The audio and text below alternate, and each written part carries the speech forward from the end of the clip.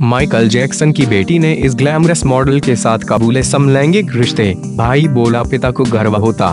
Paris के भाई Prince ने इस बारे में अपने दोस्तों से कहा कि अगर आज उनके पिता माइकल जैक्सन जीवित होते तो उन्हें भी बेटी के प्यार के चुनाव को लेकर गर्व महसूस होता। रडार ऑनलाइन के अनुसार, प्रिंस ने कहा है कि पिता को इस बात पर बेहद नाज होता कि उनकी बेटी अपना रास्ता खुद चुन रही है, जो कि वह हमेशा से करती आई है। किंग ऑफ़ पॉप के नाम से दुनिया भर में मशहूर अमेरिकी गायक और डांसर माइकल जैक्सन की बेटी पेरिस जैक्सन लेस्बियन है। ब्रिटिश ग्लैमरस मॉडल और एक ट्रेस कारा डेलवेन के साथ उनके समलैंगिक रिश्ते हैं। ये बातें जैक्सन की 19 वर्षीय बेटी ने हाल ही में कबूली हैं।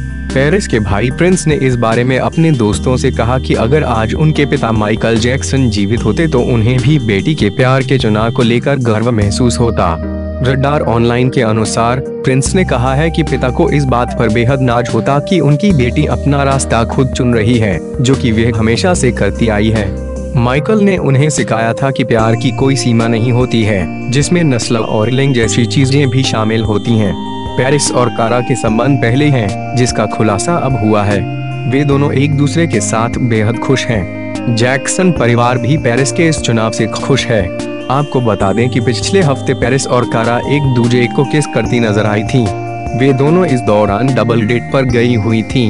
उनके साथ तब मैकॉले कल्किन और उनकी गर्लफ्रेंड ब्रेंडा स्ट्रॉन्ग मौजूद थीं।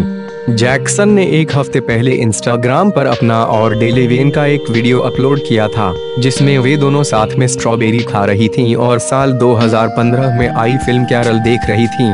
यह फ़िल्म लेस्बियन संबंधों पर आधारित थी। दोनों की मुलाकात सबसे पहले 2017 में हुई थी। मई में M TV movie and TV awards function में दोनों मिली थीं, जहाँ से दोनों की मुलाकातों का सिलसिला तेज हो गया और आज वे एक शानदार समलैंगिक जोड़ा है।